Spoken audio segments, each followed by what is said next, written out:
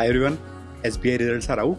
Let me take you through the comparison what I mentioned in the video earlier today versus the actuals. Let me first give you an analogy of how the expenses are calculated in the banking world. Let's suppose the bank takes money from you on a fixed deposit and gives you 6.5%. Now say the bank gives it out as a home loan with an interest of 9%. There are additional costs like employee cost 0.5%, 0.5% other costs related to that loan. Approximately net earning on the home loan is 1.5% for the bank.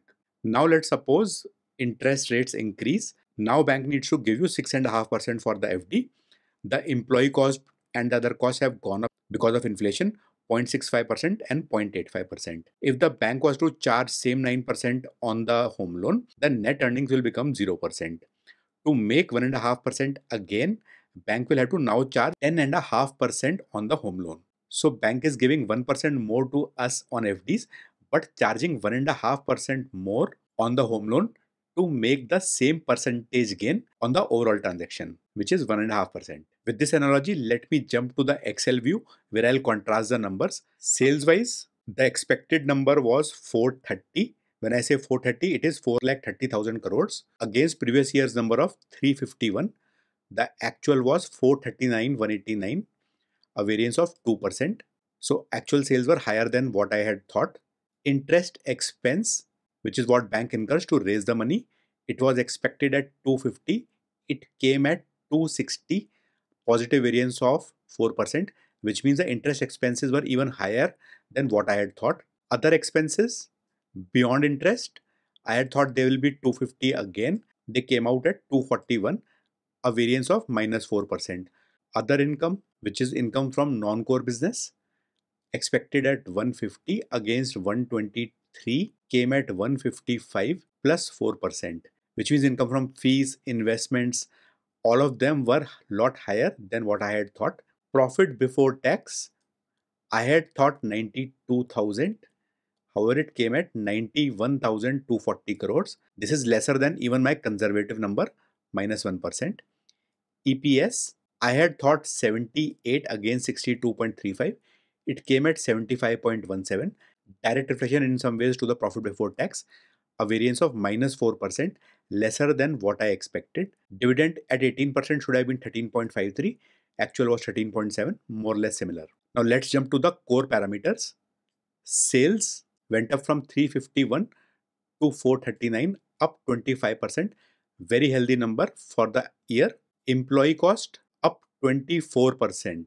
Now, this number may seem reasonable compared to 25% sales increase. However, note that the employee cost pressure came actually starting December quarter only, which means this is applicable for mostly the last six months of the financial year. So the impact in this financial year will be a lot higher. Interest expense, this is typically the CASA cost, up 37%. This is a huge increase, nearly one third or slightly more than that increase in the cost of raising money. Interest income, on the other hand, was up 30%. Interest on investments, this made up for most of the problems, up 178%. This is a big plus. I talked about this in the previous video also that income on investments may play a big role in fantastic numbers for SBI, which has happened. Other income, which is the income from fees and all, that increased 27%. That's a good number as well. Profit before tax had a jump of 21% and EPS jumped 21% as well from 62.35 to 75.17. So overall numbers are looking great. However, the cost of doing business is increasing and income on investments is playing a big role. This may or may not happen the same way in future. Specifically on the insurance business, the revenue increased 22%, good healthy number. However, the operating expense specifically for insurance went up 24%, something which is not that great. If you have gone through Berkshire's numbers, which were released over the weekend, Berkshire is doing pretty well on the insurance servicing part. This is a good business. However, in India, most people are not able to make a lot of money from the insurance business. Now let's visit the scores Holding company, the income on investments is fantastic. One, unfair advantage. I talked about the Yes Bank example. This is happening already. You will see it from time to time that SBI keeps on rescuing companies which are having problems, especially banks. I'm gonna put one. I already demonstrated yesterday that FI holding has increased. The P part was also demonstrated. Profit trend I had shown yesterday also.